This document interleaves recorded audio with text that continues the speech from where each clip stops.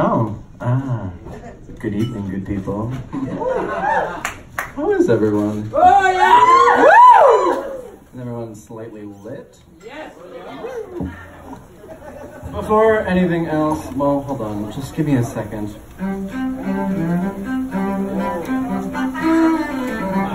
Um, good enough for government work. Before, does everyone have a drink? I am so glad every time I walk into the Wiggle Room because every experience is so special. But tonight, tonight I experienced something truly unique. I I want to raise a glass to every one of the performers this evening because it was just so special and intimate and just lovely. Chin chin.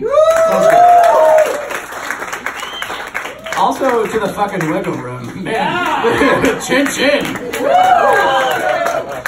So um, everything was kind of super wholesome this evening. Um, uh, I hope you're ready for shit to get a little bit filthy because uh, uh, you you have no choice. Um, I I've been struggling to uh, figure out how it is exactly that these next two songs relate to summer, but they do somehow tangentially.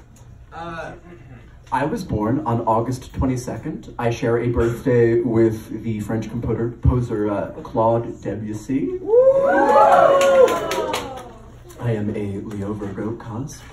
Um, and uh, on my birthday for the last several years, uh, if, if, if I have an event, we have three cakes. One vegan, one omnivore, and, and one miscellaneous. Why, might you ask? Now, has anyone here seen the beloved cultural artifact of the year 2006, cake farts? Yes. Yes. By a show of hands, who's seen cake farts? Oh, perfect. Okay, most of you haven't. Fantastic. This is the best part. So, cake farts! Strap in, don't worry, there will be a watching party afterwards. If you like, consent is important. Cake farts starts with a, uh, an image of a, a lovely homemade chocolate cake beautifully frosted, sitting on a counter. And then it pans to this woman wearing a lavender camisole, but nude from the waist down. And she says, You know what I like most? Cake farts. Let's get this done. And, and, and she walks up to the counter and she says, ah, You know, I'm uh, doing it real nice and comfortable. And she takes down her beautiful flowing brunette hair she climbs onto the counter, squats onto this lovely chocolate cake, and for one minute and 53 seconds, farts. One minute and 53 seconds is a long time. You will find out if you want after the show. Can I? That costs extra. Now, uh, a, a, friend of a friend, a very, very gifted musical theater composer and uh, a singer named Rachel Bloom, asked, I think, the question that everyone else in this room is asking right now, which is, who is she? You know, you know, it, it, it, it begs a lot of questions, like, why, for instance.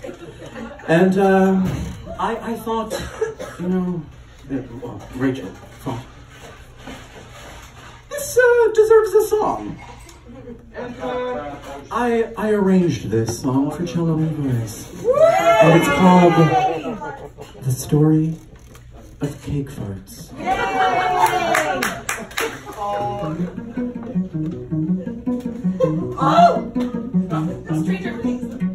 When I was a little girl, they sat us down in school and said, "Kids, what do you wanna be?" Billy said a doctor. Miranda said a judge. And then they came to me. Said, don't be shy, this is Canada. The land where dreams turn real. It doesn't matter what job you want, just as long as it's true to what you feel.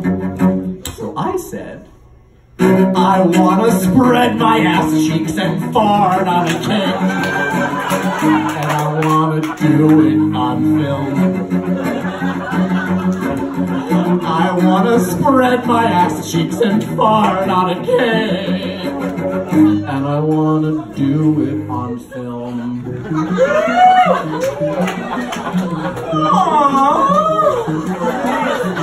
Well, they sent me to a special school, so I forgot my dream. Until my 11th birthday party. My mother cut the cake because they wouldn't give me knives. And then I saw the camera held by my grandpa, Artie. My mother said, Oh God, don't you dare fart on that cake. Relax, Mom, I'm just blowing out the candles. Jeez. Have some faith. And then I spread my ass cheeks and farted on that cake. And my grandpa got it on film. And then he threw up on himself. I spelled out dreams with my poop as I farted on that cake. But then my parents burned that film. Well, I went to McGill. Uh, I landed a pretty good job. Far away from all things frosted. Then I met a guy in a bar, a director, down on his luck, and he said, I want to make a hit internet video, but all good ideas have been exhausted.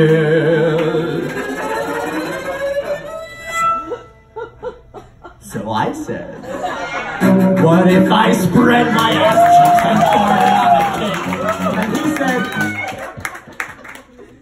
yeah, sure, yeah, okay, yeah, that'll do it.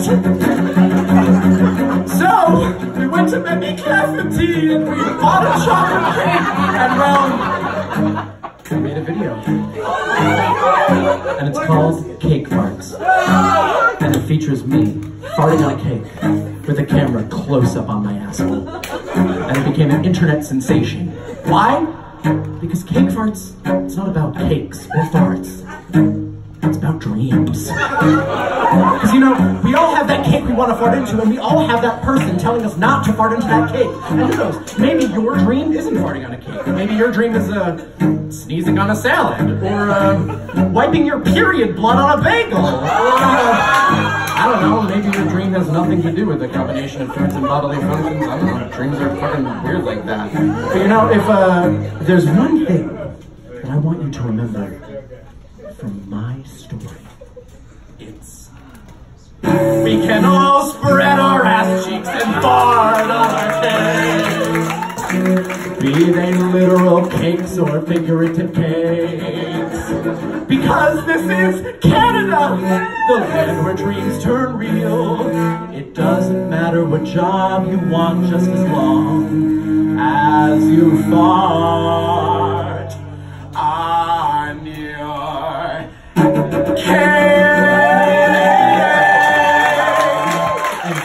So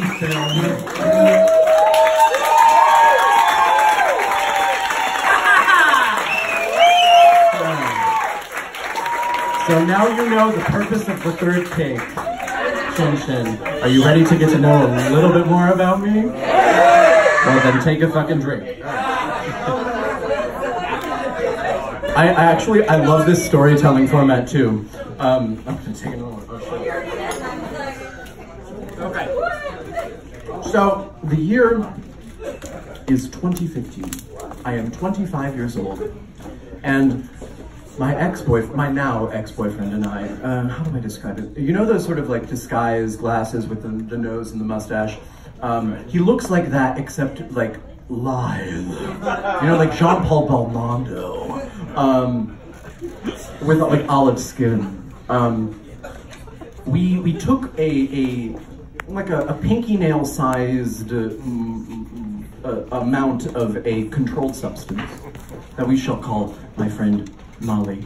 And, and we went on a walk through Washington Heights. And uh, this was the first time that I had ever uh, uh, had, this was the first time that I'd ever had sex with only one person in public. Um,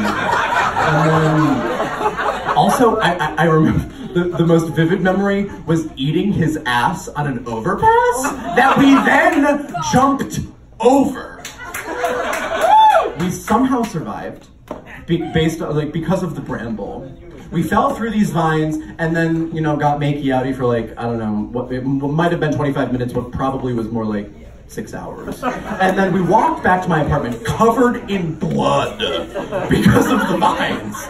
And and he did something that no one had ever done to me before. Have you ever been fucked or being fucked by someone and they do something that make you like that makes that make you make the face like you're seeing a horrifying car accident and then immediately switch over to like looking like you're looking at a Thanksgiving feast after a so sort of like this like well, I wrote this song the next day. this song is an original song uh, about the first time my ex-boyfriend spit in my mouth. Consensually! Yes. Consensually!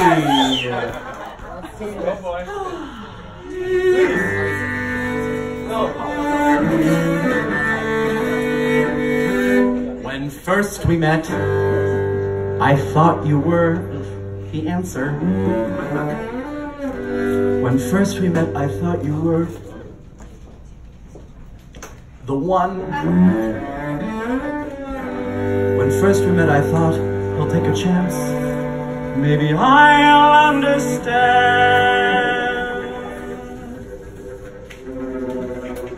But then, in the still of the night, in the heat of my room,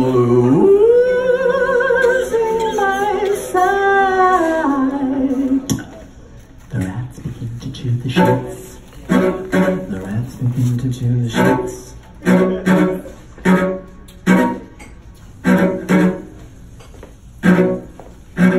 The rats begin to chew the sheets.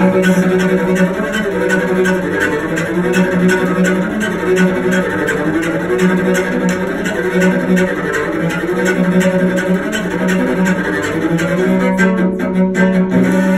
don't need you to hold me or to kiss me or to hug me. I don't need you to tell me that you miss me or you love me. What I need,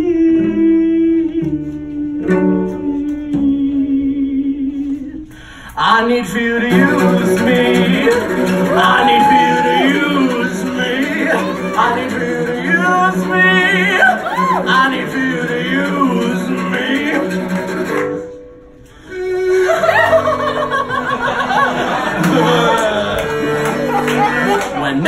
we met, I was a little sore. When next we met, I knew I needed more. When next we met, I thought he'll take a chance. Maybe I understand.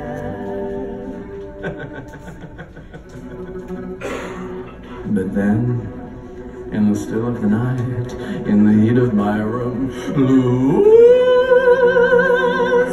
my sight, the rats begin to chew the sheets. The rats begin to chew the sheets. The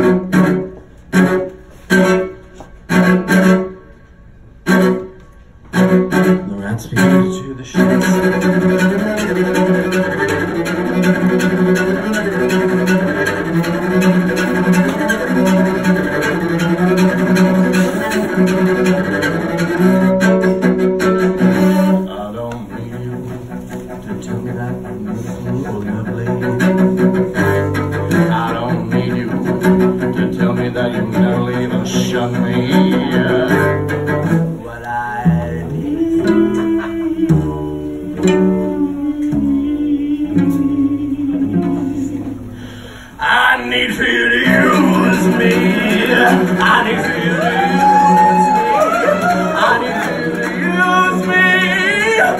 I do, do use me.